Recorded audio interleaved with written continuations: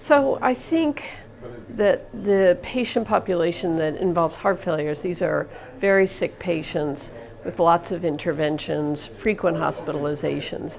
And the hope was, and has been, that if we could monitor these patients more effectively outside of frequent visits in the office, um, perhaps we could improve outcomes, make people feel safer, have a higher quality of life, and reduce uh, um, hospital admissions and reduce mortality. And to date, we really haven't seen um, any evidence that um, we can effectively do that. Uh, there is one other monitor that uh, has been described as having a good outcome, which was also an implanted monitor. Um, and so this study, which was um, software implanted at the time of um, uh, either an ICD or a CRT or both, um, was, was turned on and just continued to be monitored.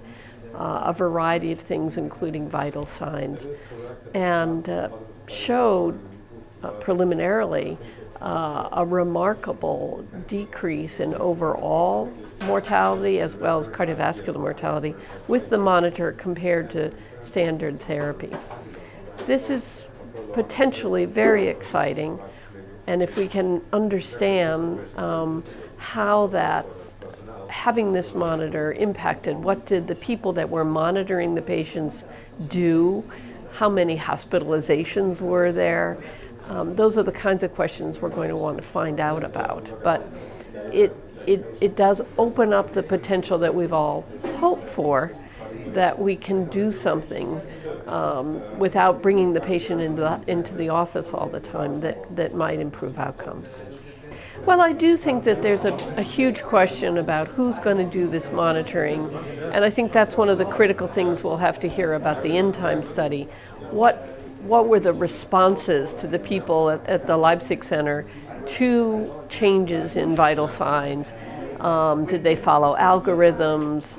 Did they call the physicians?